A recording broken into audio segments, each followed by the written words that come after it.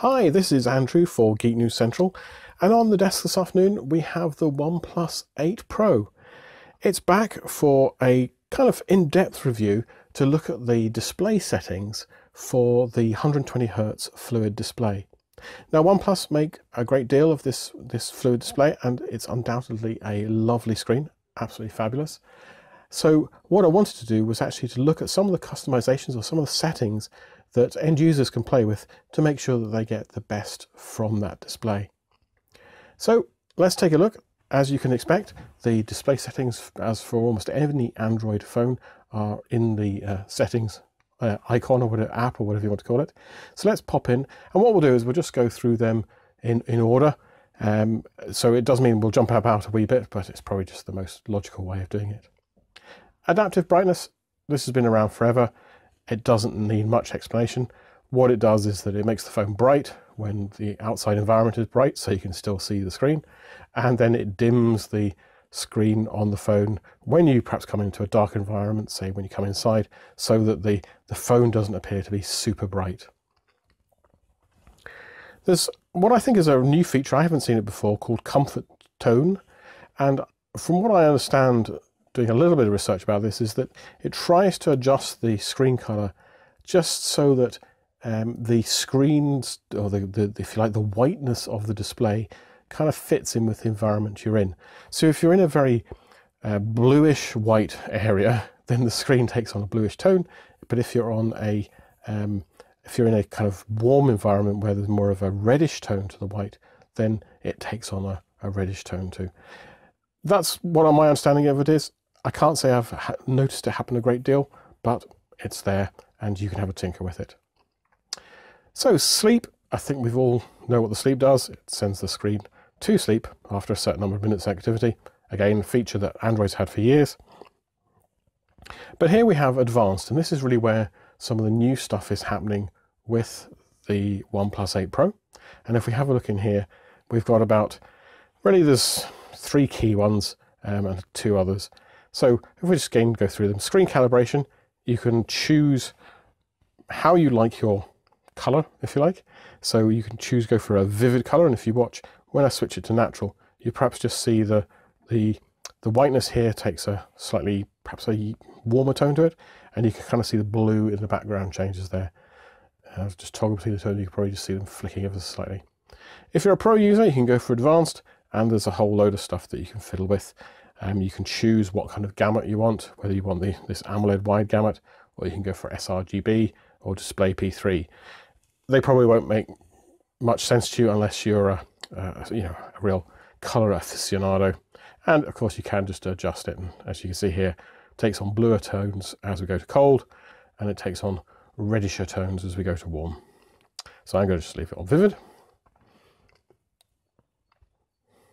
Okay, so if we go back to resolution, so the OnePlus 8 Pro, it is a QHD Plus display, which has a maximum resolution, or sorry, has a, res, uh, what do you call it, a native resolution of 3168 by 1440 pixels. So that's the QHD Plus. You can also have FHD Plus, which I'm guessing is full HD or something like this. I can't remember what the Q is, but it's oops let me just cancel that for a second. It has a resolution of 2376 by 1080, as they would say.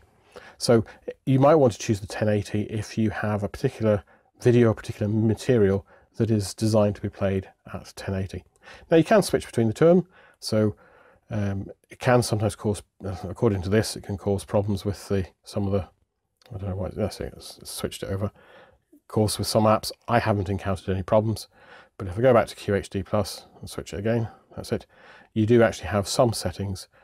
Uh, when you have them in QHD Plus, you can actually get it to switch between the two on the fly. Um, so this will help with battery life because the QHD Plus resolution does take a little bit more battery. So that's resolution. We've also got the refresh rate. As I said earlier, the 120 hertz frequency refresh. It's the big thing to do with this fluid display, but if you want to improve your battery life, you can toggle it back down to 60 hertz and uh, you'll get a bit of, a, of an extended battery life. I've no idea what that effective extension in battery life is. It'll probably depend on the apps you're using and things like that. So I've been running on 120 hertz. And then we've got some two settings really to do with the camera. If you don't, you can just see the, the little camera, uh, getting some email messages. The, um, the camera's just up here, a little one of those uh, hole punch cameras. You can set it so that you get that full screen and in some instances you will see the black hole. In other instances, you can reduce the effective height of the screen so that you don't see the front camera. But if there are some apps that you want to display in full screen, you can go in here and you can actually set those as uh, full screen apps. So that's the advanced things. You've got your screen, screen calibration for your color, you've got your resolution, do you want FHD or QHD, and you've got your refresh rate, um, and then you've got the stuff to do with the, the camera itself. Again, we've got another color effect here, uh, where you've got this vibrant color effect. You can get photographs and things to appear that bit richer. Um, you can, you know, again, this is your personal preference. I've got a lot of things turned on just because I'm testing them. You may find that over time you prefer uh, the less vibrant color. Who knows? Motion graphics smoothing. So depending on your point of view, this is either um, a great invention or it's an abomination. So what this does is, as many of you will know, when you take video, uh, you typically take it at, and I'll try and get this right, 25 frames per second in Europe, or it's 30 frames per second in America, and that can sometimes be upscaled to, um, to obviously to 50 frames per second or to 60 frames per second. Now, when it does kind of that up, upscaling is perhaps the wrong word. What you effectively have is interpolation. So it looks at every every frame and kind of tries to guess what that intermediate frame might look like had you been recording at a higher frame rate. As I say, there's a bit of controversy about that. Some people don't like it.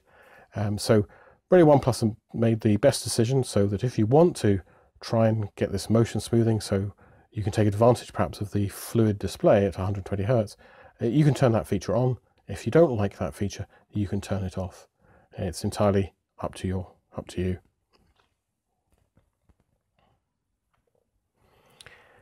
So we've got a couple of other things that we'll just talk about here. We've got night mode and reading mode. Night mode, I'm sure many people will be familiar with. It's been around for a little while. And what it does is that it just tries to bring on a um, a warmer tone to the screen. You know, there's been some feelings that the blueness of uh, LED screens is disrupting people's um, sleep patterns. Um, so this bringing this warmer tone to the display is intended to help that. And you can adjust the, the warmth and the brightness to suit your own preferences. Better turn that back off again. Now, a new feature that I haven't really seen before is called reading mode. It's quite interesting in that it tries to to a certain extent get the AMOLED screen to reproduce the behavior almost of the e-ink style paper from an e-reader. So what you can do is you can turn on reading mode and it takes a lot of the color out of the screen. So you've really got two choice choices. You've got what's called a chromatic effect, which if you kind of look at the two pictures that I've got here, it tries to take a lot of the color out, but it doesn't take it out completely. You can kind of still see a few hints of perhaps of the yellows of the of the flowers. So if I take that back off, you can kind of see the yellows in the flowers. Yeah.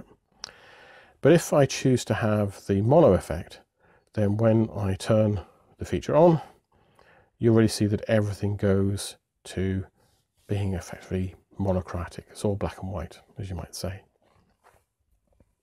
So I think that's a nice little feature if you're used to using e-readers and uh, you uh, want to reproduce that effect then you've got that option there on the 8 Pro.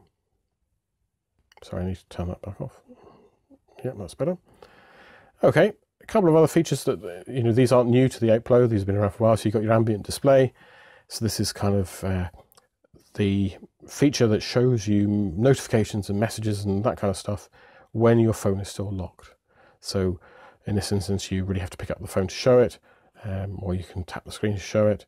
Uh, and the one thing that's probably of interest really with the 8 Pro and because of the curved screen, you've got what's called a horizon light. So that's basically down the side here, you can get it to uh, put notifications if you're not particular, but uh, give you an indication that you that there is a notification through the use of various colors. So you can choose whichever color you want. I had it on purple, and effectively down the side here will glow when the phone's upside down uh, to tell you that you've got a notification. Okay.